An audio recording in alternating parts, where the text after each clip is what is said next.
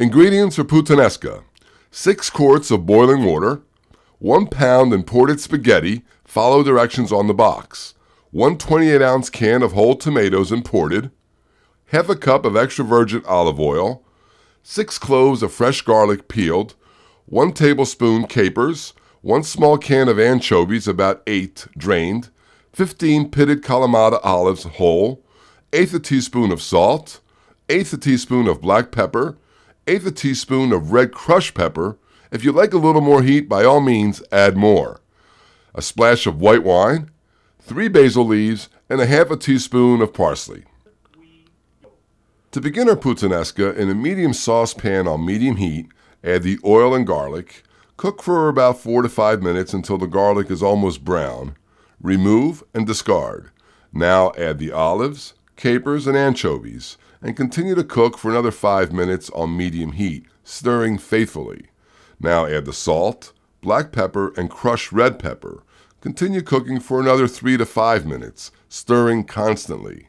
Open a bottle of wine and splash some of it into the pan about a quarter cup and enjoy the rest while cooking the sauce. Stir a bit and then add the tomatoes, basil, and parsley, turning up the heat to bring to a boil. Making love to this sauce is very important, so keep stirring. When you have a slight boil, turn down the heat to a simmer and cook for 35 to 40 minutes, stirring every 5 minutes or so. A lot of people have asked me why theirs never taste as good as mine. I always tell them the same thing.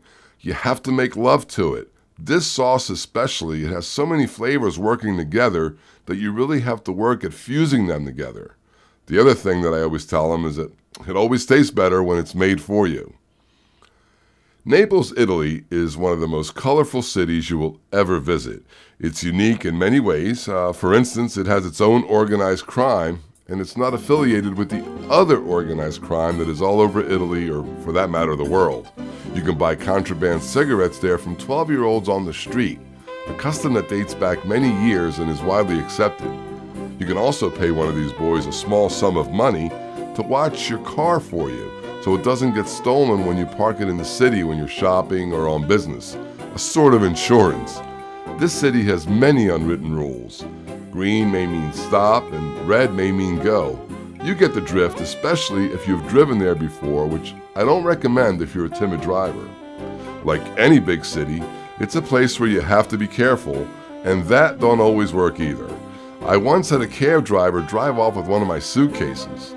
And this was after we told him this horrific story about a bomb scare on the plane, the train stopping between Rome and Naples because of one of the many temporary Italian work stoppages.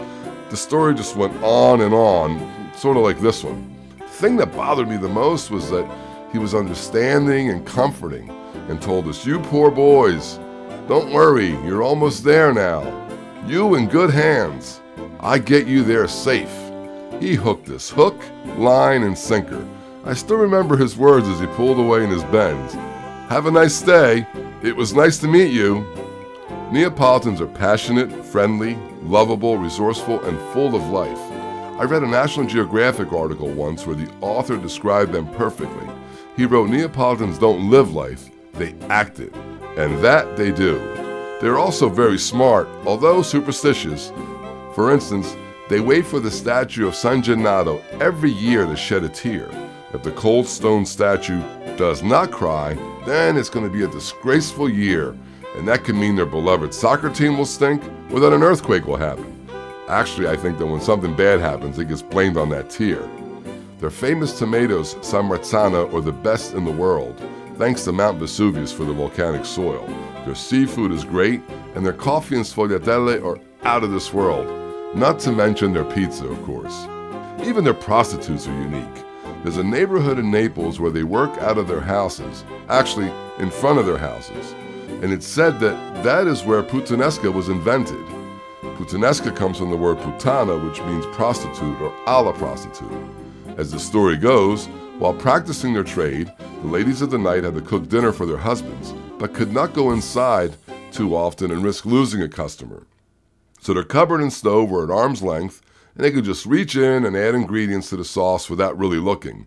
Of course, the sauce would be different every time.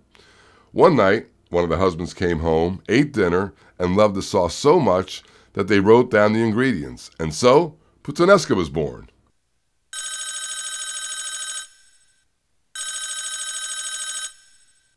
Please press pause now.